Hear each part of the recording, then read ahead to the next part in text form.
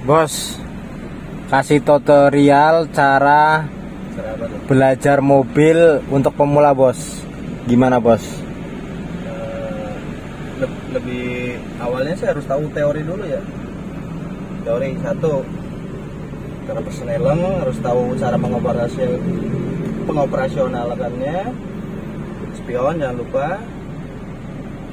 Safety, sabuk pengaman ya. Rem tangan, kopling terutama nih mau masuk persneling, kopling harus tekan full ya.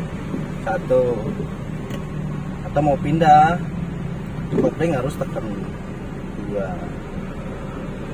nah begitu seterusnya sampai ke lima atau mundur itu tetap kopling harus tekan dua Diinjak. Nah, kadang kan kalau orang belajar mobil itu bingung nih cara masukkan prosneling. Itu kasih tip dong, bro. Cara biar gampang masukin prosnelingnya, bro. Satu ke mana, dua ke mana, tiga ke mana. Kadang kan kalau orang kan masukin satu terus dia pindah ke tiga kan susah atau kedua tuh. Kasih tahu dong, bro, gimana biar gampang. mungkin kalau ada ada nyangkut kopling kurang tahan nih contoh ya Nah, satu nih satu kopling tekan. Hmm, pindah kedua kopling tekan. Dua tiga empat lima. Nah ini mundur.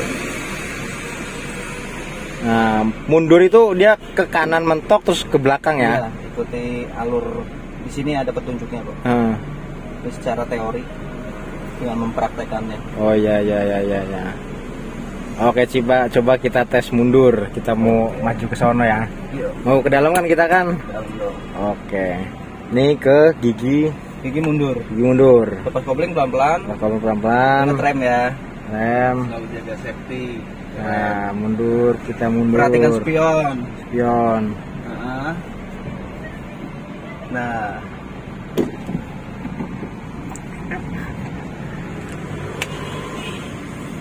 Masuk satu, Masuk satu. ditanjakan. Tanjakan nih. Biasanya orang ditanjakan takut.